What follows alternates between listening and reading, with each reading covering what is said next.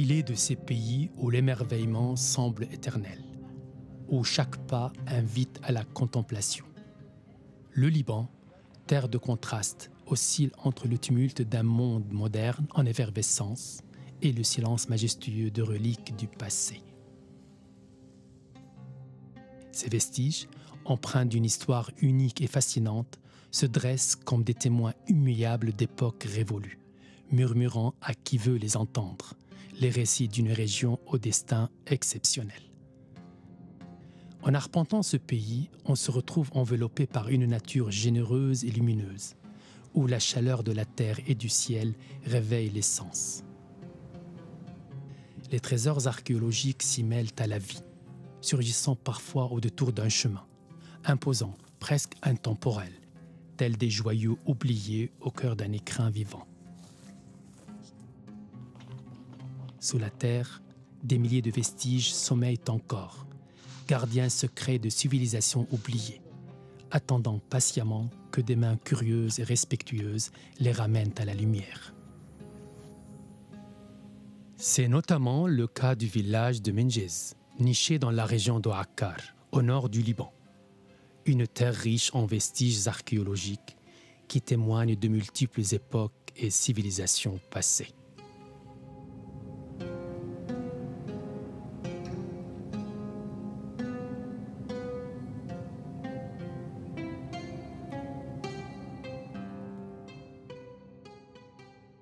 Dakar, il est très important pour le Liban, pas uniquement pour l'archéologie.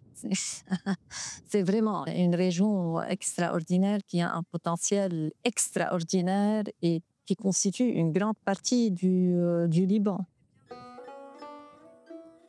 L'archéologie, elle est très importante au Dakar parce que ça, ça montre que cette partie du Liban, comme d'ailleurs tout le Liban, est très riche en archéologie parce que c'est un pays qui est très petit, mais c'est un pays qui a un emplacement géographique très stratégique. Quoi. Et c'est ce qui explique cette richesse, cette variété d'archéologie au Liban et dans l'Aqqa. C'est la Direction générale des antiquités qui est responsable du patrimoine au Liban, du patrimoine culturel. De ce fait-là, c'est la DGA qui, est responsable de la gestion des sites archéologiques, des monuments historiques et des fouilles archéologiques. Et à partir de ces fouilles, parce que bien sûr, il y a l'aspect scientifique qui est très intéressant, mais aussi il y a l'aspect de préserver les, sites, de sauvegarde des sites et de promotion de sites et de présentation, de valorisation de, ces sites. Dans le village de Menjez reposent les traces d'un passé lointain d'imposants mégalithes sont harmonieusement agencés et éparpillés tout autour du village. Identifié dès les années 1960 comme un ensemble funéraire composé d'une centaine de tombes, cette nécropole, âgée d'environ 5 à 6 000 ans, suscite autant de fascination que de mystère. Depuis 2022, ces structures intrigantes font l'objet d'une exploration approfondie menée par une équipe d'archéologues déterminés à percer leurs secrets. Ce projet, baptisé MEGA pour Mégalith de Hakkar, est co-dirigé par deux spécialistes de renom. Zuzanna Wignajska de l'Académie polonaise des sciences et Tara Steimer de l'Université de Genève. Ma spécialité, c'est le Proche-Orient. Et au Proche-Orient, j'étudie euh, les, mégalithes, enfin les bâtisseurs de mégalithes. J'essaye de comprendre ces sociétés qui ont érigé des tombes euh, à une certaine période de la préhistoire on est vraiment dans la préhistoire récente, donc euh, c'est autour de 4000 ans avant Jésus-Christ. Et euh, pendant 2000 ans, il y a des populations qui ont décidé d'ériger pour leurs morts des monuments assez exceptionnels. La finalité du projet Méga, c'est de comprendre qui est derrière ces monuments mégalithiques, qui sont les bâtisseurs, comment ils se sont installés, comment ils se sont répartis, à quelle période et de quoi ils vivaient. Voilà, ça c'est vraiment les questions qu'on a posées au départ on essaye euh, de répondre à ces questions-là. Et on a deux possibilités, par la fouille et par la prospection. Par la fouille, c'est de répondre à l'architecture, euh, les techniques de construction, et euh, trouver également des indices pour la datation. Parce que c'est vraiment ce qui comptait, c'était avoir un cadre chronologique précis. Ensuite, Susanna, elle, vraiment, elle va vers l'environnement, euh, l'insertion des tombes dans le paysage et euh, la répartition, la carte archéologique. Ça, c'est vraiment les deux objectifs du projet. Les équipes suisses et polonaises allient deux approches complémentaires pour tenter de percer les secrets des tombes mégalithiques de Menges. Depuis plusieurs années, sous la direction de Tara Steimer, les chercheurs genevois s'emploient à révéler ces monuments enfouis, explorant leurs mystères pour comprendre les techniques ingénieuses déployées par les bâtisseurs d'autrefois. Ils exhument patiemment de nombreuses tombes, tamisant chaque poignée de terre dans l'espoir de découvrir des reliques capables de révéler des fragments de vie des sociétés d'autrefois. Hélas, ils ne sont pas les premiers à explorer ces sépultures.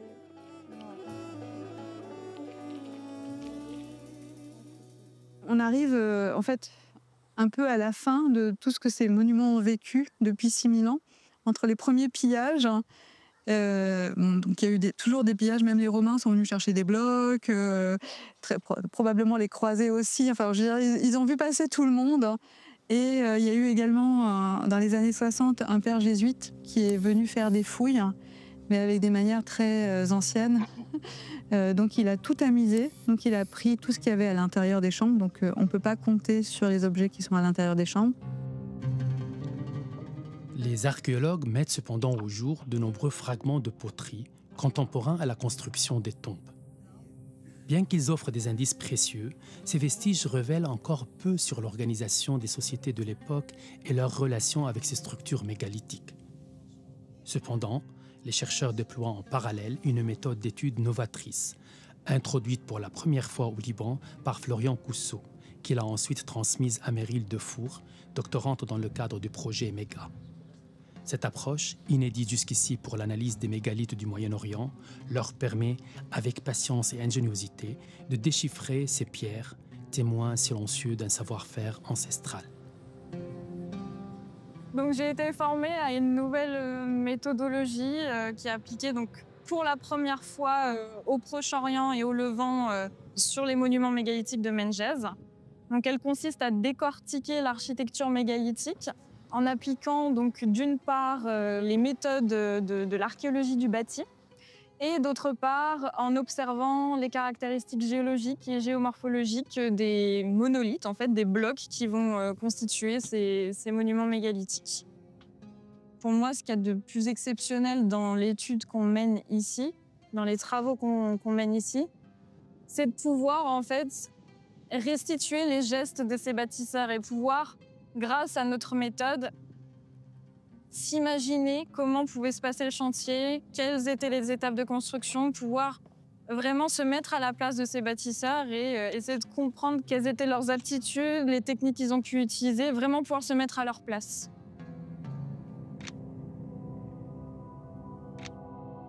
C'est par cette méthode, mêlant observation minutieuse et étude approfondie des traits géologiques de ces mégalithes en roches volcaniques, que les archéologues ont levé le voile sur une découverte extraordinaire, un secret que nul n'avait encore deviné. En 2018, on a commencé à avoir des, gravures et après, on, en voyait partout. Donc on en a relevé beaucoup. Donc on a fait appel à un spécialiste des gravures qui s'appelle Guillaume Robin, qui travaille pour l'Université d'Édimbourg et qui est spécialiste des gravures rupestres. Et en fait, euh, on a des formes géologiques qui ont été utilisés par les bâtisseurs de monuments mégalithiques pour les, inscrire dans l'architecture de la tombe. Face à l'entrée, vous avez un, bloc avec euh, une forme géologique et ils ont un petit peu accentué les contours de cette formation géologique pour faire un serpent qui descend de la pierre et qui va vers le dallage de, la tombe. Donc là, on a vraiment euh, une volonté de présenter un serpent à l'intérieur d'avant. Il faut imaginer la tombe toute fermée, avec cette ambiance très intime, euh, et, euh, et, puis la pénétration dans la tombe par le couloir fermé, peut-être avec des lampes, euh, etc. Et puis ce serpent qui apparaît. Symboliquement, c'est très fort. On peut dire beaucoup de choses. Hein. Il y a ce côté très souterrain. donc c'est vrai que par rapport à la mort, on peut expliquer ça de cette manière, avec la régénérescence.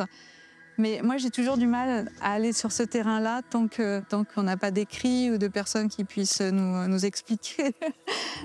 Après, est-ce qu'ils le voyaient de la même manière? Est-ce que c'est une région où il y avait beaucoup de serpents? Est-ce qu'ils utilisaient les peaux de serpent? Est-ce que le venin de serpent euh, Il peut y avoir plein d'explications possibles, mais malheureusement, euh, voilà, ça reste euh, juste hypothétique. Pour enrichir leurs observations sur le terrain, Tara Steimer et son équipe consacrent une partie de leur temps à Minges à capturer un maximum d'images des sites. Grâce au soutien de la Direction générale des antiquités du Liban, ils utilisent des drones pour obtenir des prises de vue aériennes.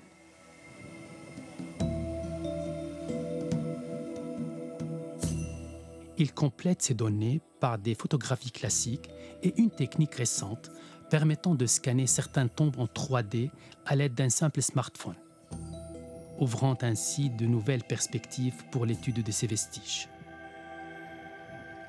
Alors là, en fait, ce, qu'on fait, c'est euh, une 3D euh, de la structure. On fait ça systématiquement à chaque fois qu'on finit une fouille. On utilise la photogrammétrie avec un iPhone et en fait, j'ai juste à, euh, à balader l'iPhone comme ceci et ça me prend les photos automatiquement. Donc c'est un gain de temps énorme et ça marche plutôt bien.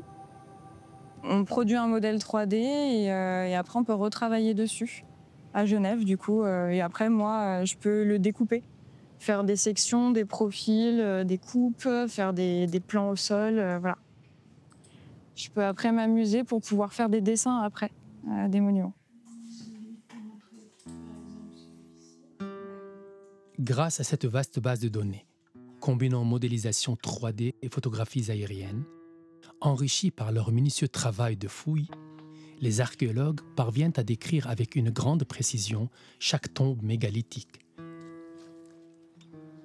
Leur analyse approfondie a notamment révélé trois types distincts de structures dans les tombes de Menges, jetant une lumière nouvelle sur les techniques et pratiques des bâtisseurs d'autrefois. Ici, on a ce qu'on appelle une tombe circulaire. Il faut savoir qu'à Menges, on a trois types de tombes. Les tombes circulaires, dont on a un bel exemple ici les tombes rectangulaires et les tombes allongées à chambres multiples. On accède à la chambre par un couloir que vous pouvez voir ici. On peut très bien circuler. Donc on a ici une chambre circulaire qui est composée euh, pour ses parois d'orthostates. Donc les orthostates, ça va être les pierres qui vont être dressées pour former les parois de la chambre. Au sol, on va avoir le dallage, qui va servir à niveler et avoir un sol plat. En dessous, on va avoir ce qu'on appelle un radier. Donc c'est un lit de petites pierres que les bâtisseurs de mégalithes vont placer avant l'installation du dallage pour avoir un sol bien plat. Ensuite, ils vont placer euh, autour du dallage les orthostates. Et enfin, ils vont placer tout autour ce qu'on appelle euh, une plateforme circulaire. Donc la plateforme circulaire, c'est simplement une paroi en pierre sèche avec, entre les orthostates et la paroi, un remplissage de petites pierres qui va venir maintenir euh, les orthostates à l'arrière. Donc tout ça, c'est nécessaire pour que la chambre, euh, elle tienne debout et qu'elle tienne dans le temps. Là, on a par exemple un, exemple de tombe qui a 5000 ans et qui tient euh, toujours debout. Et ici, pour les blocs qui sont au-dessus de ces orthostates, on va avoir ce qu'on appelle des corbeaux. Donc les corbeaux, c'est des blocs qui vont être positionnés euh, donc, euh, comme ceci, au-dessus des orthostates, et qui vont former la couverture. Le travail des archéologues à Menges a permis de lever un peu plus le voile sur les sociétés, les rites et les croyances de nos ancêtres, tout en ouvrant la voie à de futures recherches sur ces tombes encore riches de mystères. Mais ce projet de recherche dépasse le simple cadre scientifique. Il porte une dimension profondément ancrée dans la préservation et la valorisation du patrimoine archéologique. Cette dynamique trouve sa force dans l'engagement des habitants et du maire de Menges, qui ont donné une impulsion décisive à cette initiative. Dès le début, avec l'Université de Genève, quand on a euh, voulu faire cette valorisation du patrimoine archéologique, on a pensé à la création de la Maison du patrimoine et surtout, à la création d'un sentier de randonnée qui relie ces dolmens et les autres sites archéologiques. On a réussi, il y a un mois ou deux mois, à inscrire les mégalithes de Menges sur la route des mégalithes du Conseil de l'Europe.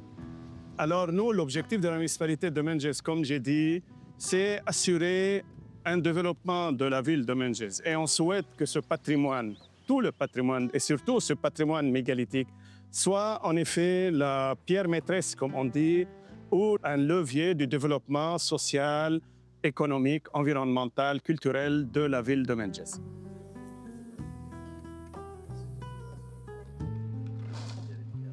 أنا كتير كتير فخور بهالقصة لأني أول شيء يعني عرفنا شيء نحن كنا جاهلينه ما كنا بنعرفه ضوينا عليه وتبينوا. وأنا اللي بنبسط فيه أكثر بس يجي حدا من برا مش من لبنان كمان من لبنان بيجوا بس عم يجي حدا أجانب أكثر ونشرح لهم عن هول القبور الميغاليتيه القديمة.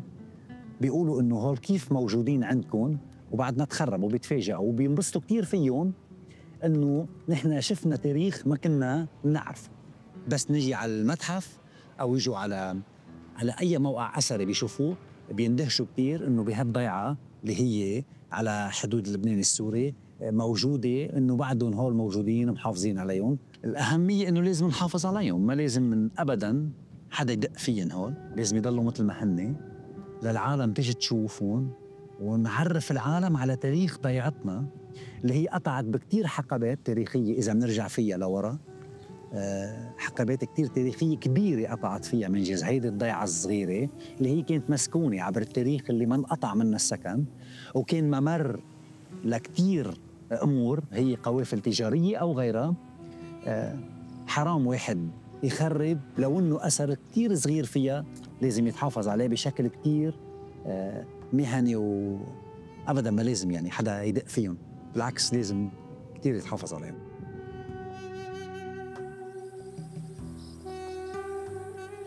Le petit village de Menges est un écrin de merveilles, où chaque pierre raconte une histoire ancienne. Les mégalithes, minutieusement étudiés par les archéologues du projet MEGA, témoignent d'un passé lointain, façonné par le passage de civilisations successives. Aujourd'hui, ce patrimoine unique est fièrement réapproprié par les habitants, qui œuvrent à faire rayonner ce lieu riche d'une culture et d'une nature extraordinaire. Mais Menges garde encore bien des secrets, enfouis dans la quiétude de ces paysages chaleureux. Ces mystères, lorsqu'ils seront dévoilés, promettent d'enrichir notre compréhension du passé, éclairant de nouvelles facettes de l'histoire humaine dans ce havre intemporel.